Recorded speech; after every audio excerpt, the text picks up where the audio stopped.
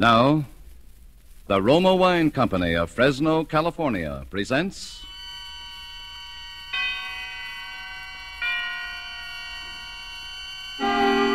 Suspense.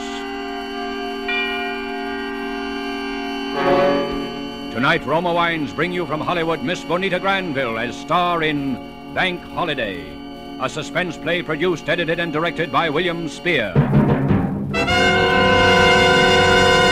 Suspense is presented for your enjoyment by Roma Wines. That's R O M A, Roma Wines.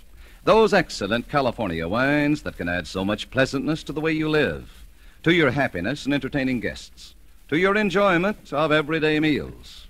Yes, right now a glassful would be very pleasant as Roma Wines bring you a remarkable tale of suspense. And with Bank Holiday and with a performance of Bonita Granville, Roma Wines hope indeed to keep you in suspense.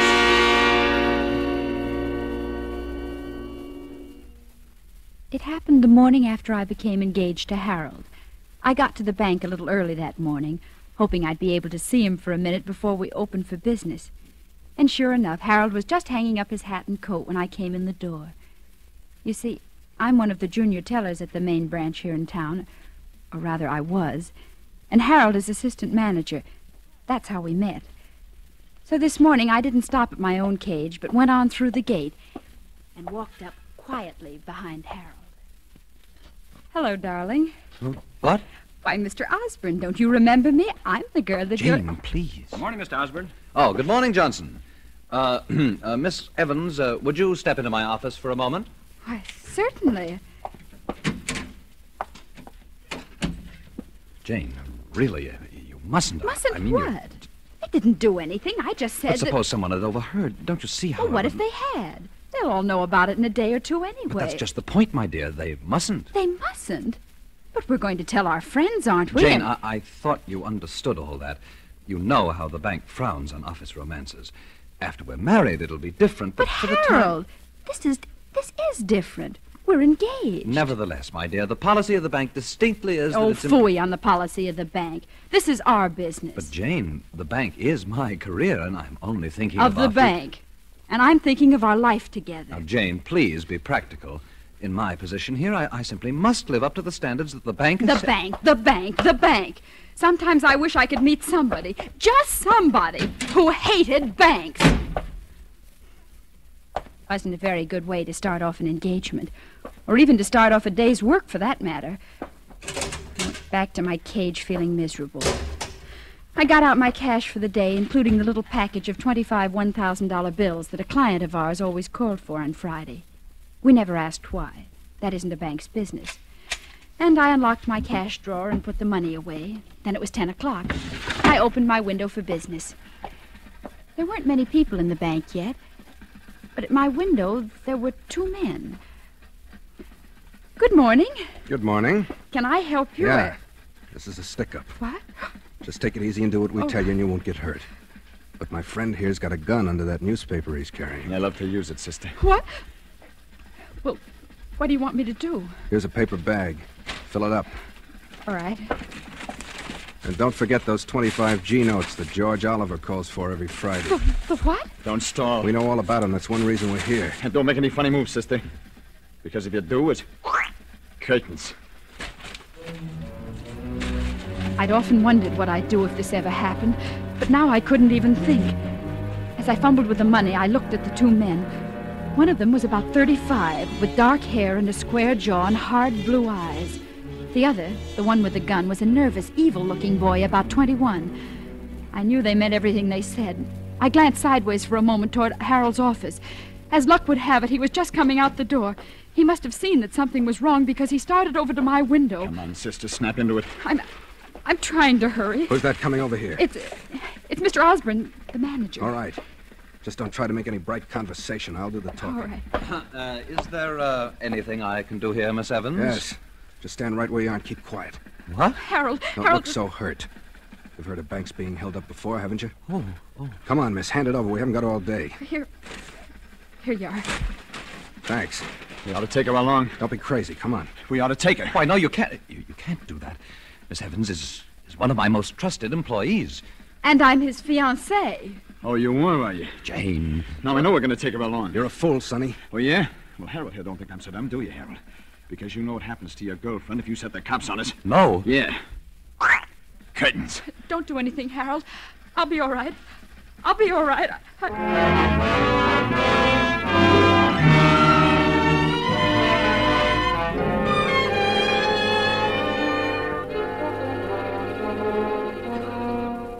For suspense, Roma Wines are bringing you a star, Bonita Granville, whom you have heard in the first act of Bank Holiday by Robert Richards, which is Roma Wines' presentation tonight of Suspense.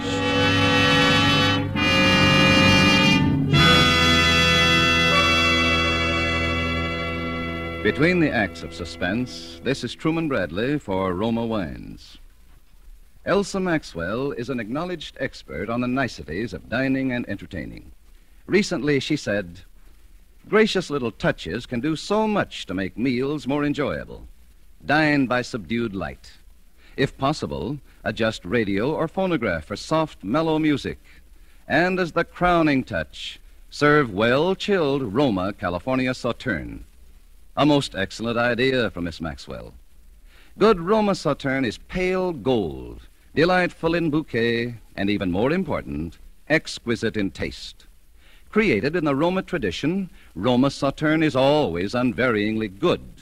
The goodness of luscious grapes, selected at peak of flavor richness in sunny California's choicest vineyards, carefully pressed, then, unhurriedly, guided to perfection by the ancient wine skill of Roma's famed wineries. Good Roma wines are always delicious, yet cost only pennies a glass. Remember, because of uniformly fine quality at reasonable cost, more Americans enjoy Roma than any other wine. R O M A, Roma wines.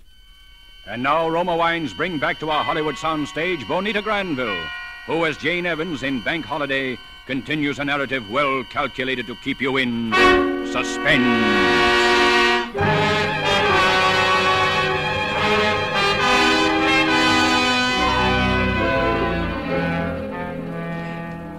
Would I tell a couple of bandits who came in to hold up the bank that I was engaged to Harold, particularly when Harold was the manager of the bank? It was crazy, but there were a lot of crazy things I did that day that I didn't understand myself until later. Naturally, when I told them that, they took me along as a hostage. And the next thing I knew, I was sitting in the front seat of a big blue car beside the one called Frank. And the other one called Sonny had tied a blindfold over my eyes. And we were driving.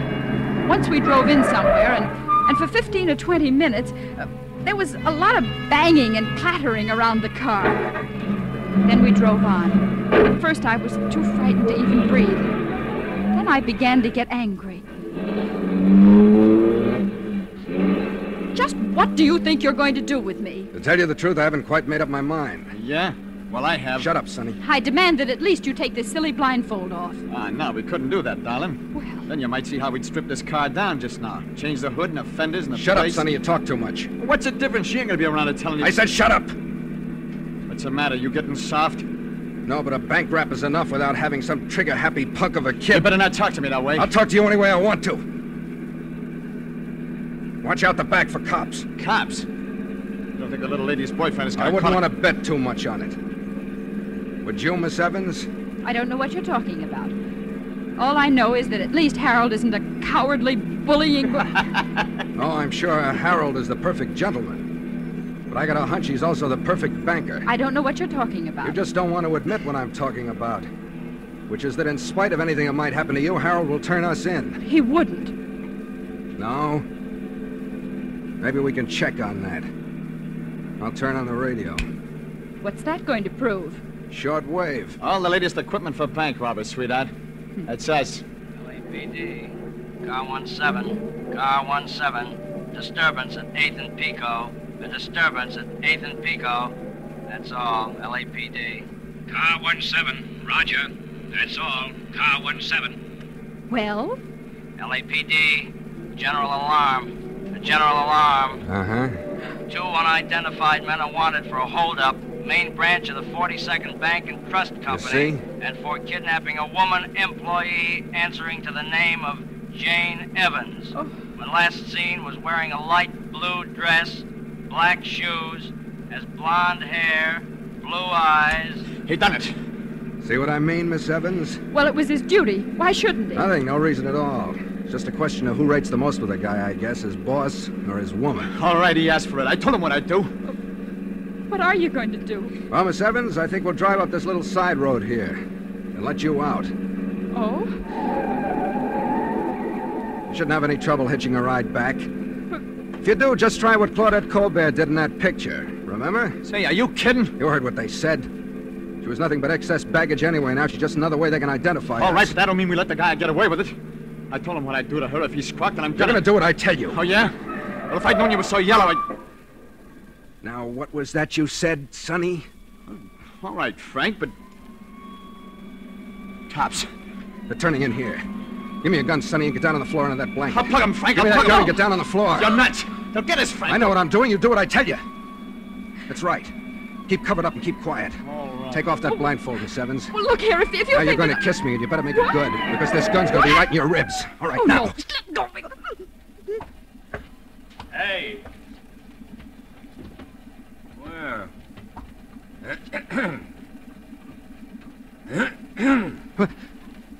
Oh, you kind of startled me, officer. What are you doing here? Well, if you must know, I'm getting engaged. Is there anything wrong with that? Let me see your license. We haven't got the license yet, Your but we're... driver's license. Oh, sure. What's the matter? Just let me see your license. Here you are. You looking for somebody? Just a couple of guys who held up a bank and kidnapped a girl. Is that right? The young lady got any identification? Well, I... Go I- on, tell him, honey. You see, we left town in sort of a hurry. You might call it a sort of elopement. Oh. Sort of elopement, huh? Yes. Well, I guess you're all right.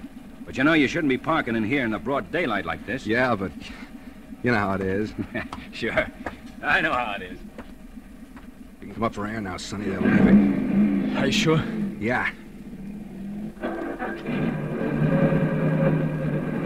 Well, Miss Evans, I'm afraid that under the circumstances, you'll have to put up with our company a little longer. It wasn't as bad as all that, was it? Well, was it? She slaps him right in the voice. Does that answer your question? Yeah. I guess it does. That was crazy, too. Here I was, my life completely in this big ape's hands, and I had to slap his face. I knew I'd made him angry, and what was even more dangerous, I'd hurt his pride. But there was nothing to do about it now. For a long time, we just drove along, and nobody said anything. We were crossing a stretch of desert, heading toward a mountain range, and had just passed through a little town. I saw the car pull out of a side road as we flashed by, but neither of the two men did. And all of a sudden, my mind began to race, thinking that maybe now was coming my chance to escape, wondering what I could do, and. And then my blood ran cold again. The way they were talking. Still heading for the same place, Frank? Yeah, Mom place? that's right. What about Miss Spitfire here? I'll take care of that when the time comes. She knows too much. That's right. Hey, if I thought you was getting soft, Frank, What would you do? well, you know what we gotta do, don't you? Yeah, Where? not right out here in the open desert. That's a cinch. The mountains? Yeah, maybe the mountains. Maybe. There better not be no maybe. Cops again. Look right behind us. Yeah. Those others must have got to thinking things over. Cops in the middle of the desert. No one in sight for miles. What are you talking about? I'm talking about this. Ah! Sonny! I've been wanting to do this all day. You crazy fool! Who's crazy? We get them before they get us, that's all. Hey, they're shooting back. They know they got a fight in their hands now. So have we. Shoot at their tires, you hear? Okay. Hey, they hit us. And that's not supposed to happen the way you saw it in the movies, huh? You! Uh, me? Yes, you. Get down. Down on the floor. Well, what are you going to do? There's only one thing to do now. Drive light.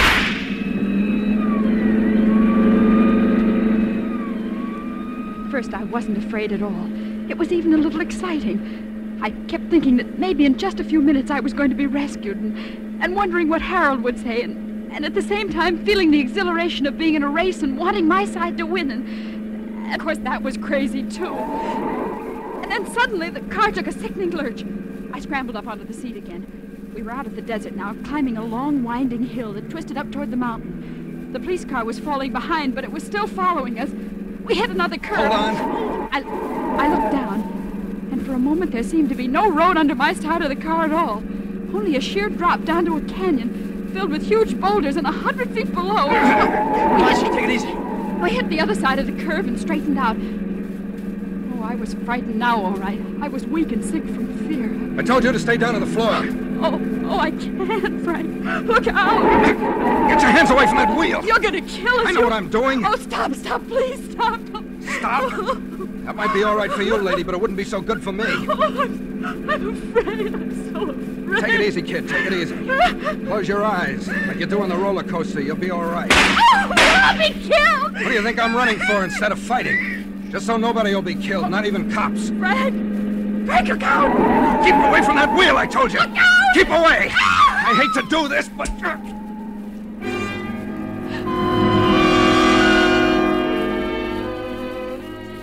saw his fist rush toward the point of my jaw, and that was all.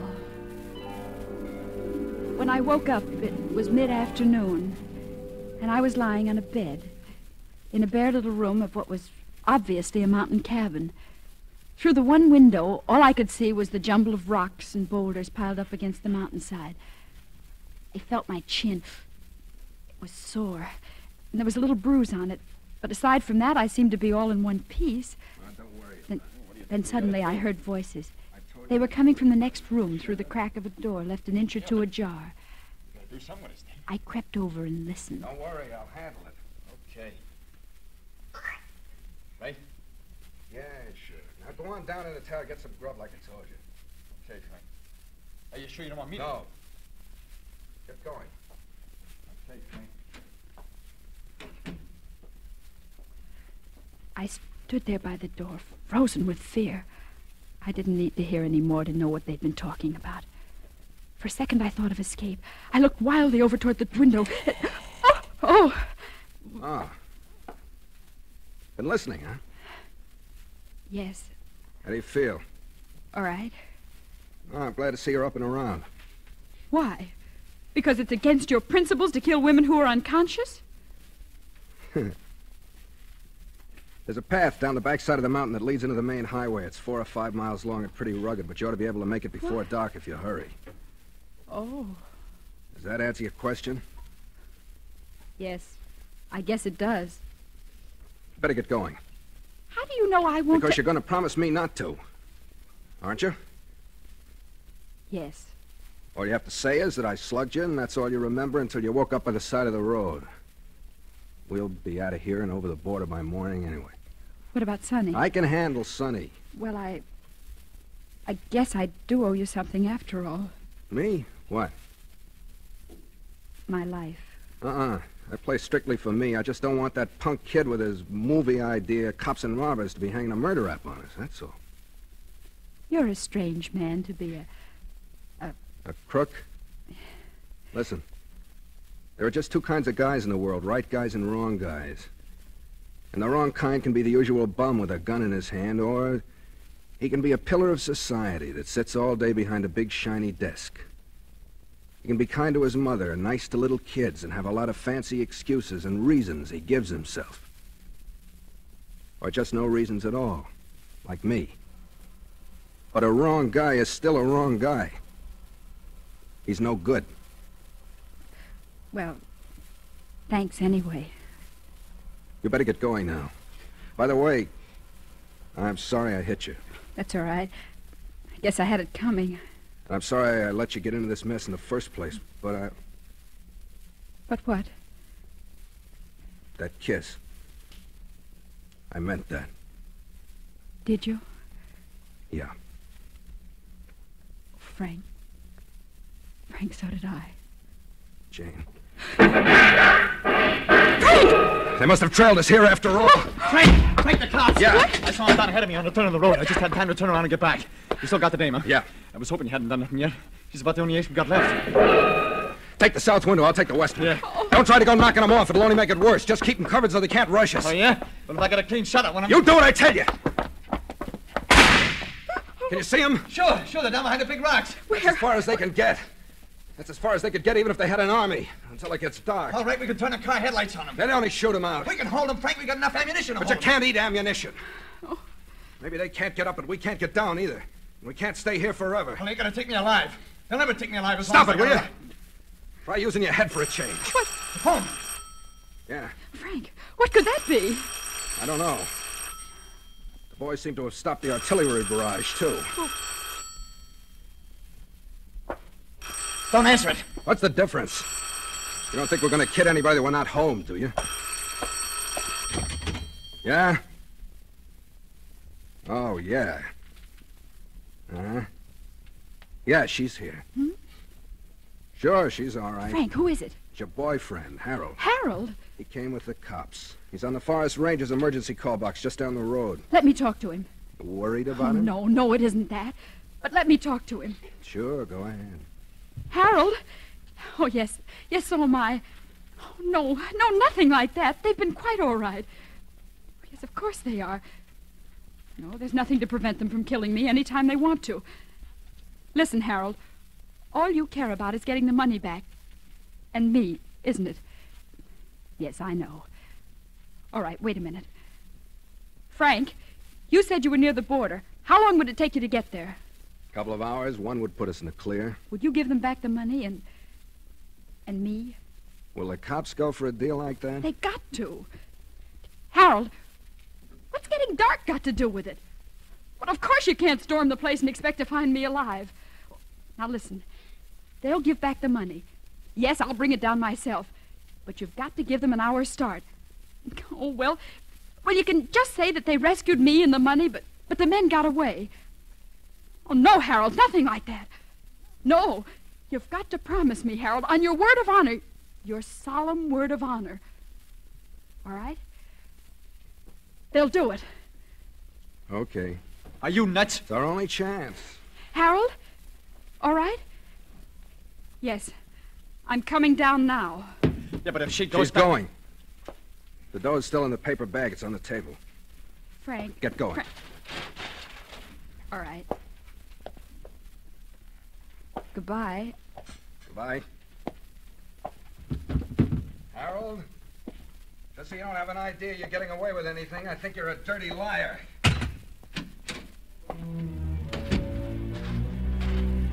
I hardly heard and didn't even think about it. I was so relieved. And still so bewildered by everything, running down the hill with a paper bag of money clutched in my hand.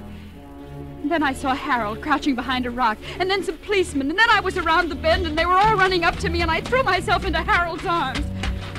Jane, dearest, you are all right. I'm all right, Harold. Here's the money. Oh, well, yes. Yes, it's all here. All right, officer. Okay, Chuck, let him go. Come, my dear. Harold! Harold, what- what is that? Tear gas. Tear gas! Oh, it's quite harmless, really. And But, but Harold, tell them! Tell them what we promised! oh, I'm afraid of it. It's out of our hands now, my dear. Harold, you promised!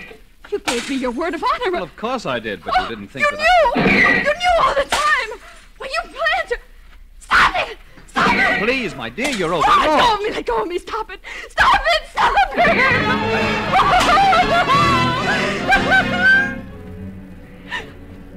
I tried to run back, but they held me.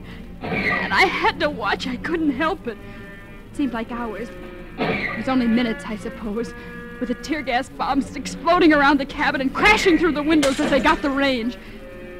And then something white flooded from the door, and they came out. The boy first, with his hands in the air, and and then Frank, stumbling toward us like blind men and coughing. Oh, those terrible rocking coughs that, that just seemed to be tearing them to pieces. Oh, Frank! Frank! All right, come on. Oh, Frank, I didn't know. I, I swear I didn't know. I know, I did know. I knew before you left. Oh, why did you? Why did you let me go? I wouldn't have gone if I... Because he's just the kind who would have stormed the place. Maybe I couldn't have handled Sonny then.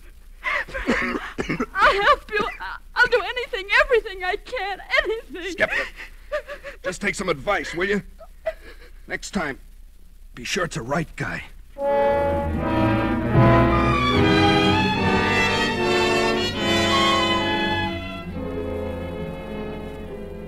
Yes, it's funny. It's like he said people can be honest and dishonest in so many different ways. I got to the bank early the next morning, too.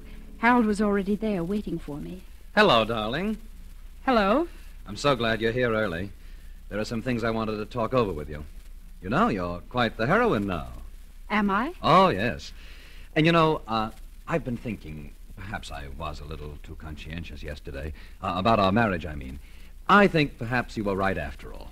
We ought to tell. Harold, about our marriage. Yes? There isn't going to be any marriage. Isn't going to be any. I found out something about a girl getting married, Harold. Marriage is something you do second. Do second? Yes. First, you find a right guy.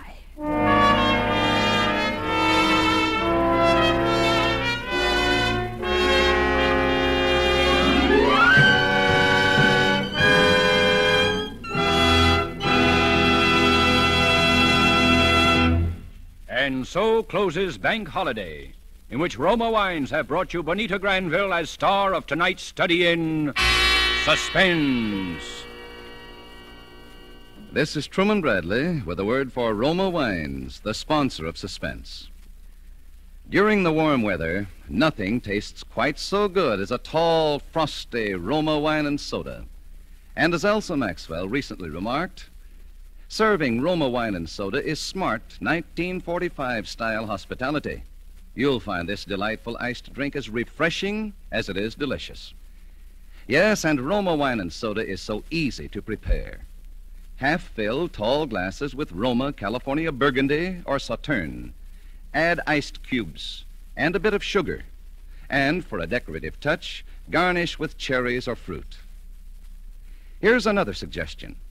For a delightful aperitif, sip delicious Roma sweet vermouth, well chilled. Zestful, full flavored Roma vermouth, both sweet and dry, is blended and developed with all the traditional winemaking skill of Roma wineries, is made and bottled in the heart of California's famous vineyards, yet surprisingly low priced. Try Roma vermouth soon, won't you? Next Thursday, you will hear Norman Lloyd and Mark Humboldt as stars of Suspense. Presented by Roma Wines. R O M A. Made in California for enjoyment throughout the world.